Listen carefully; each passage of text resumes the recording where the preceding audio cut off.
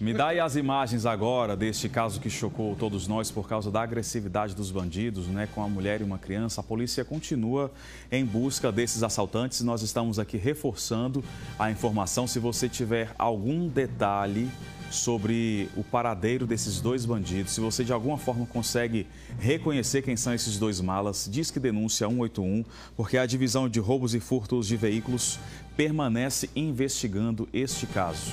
Então, reforçando, diz que denúncia 181. Vem para o lado de cá,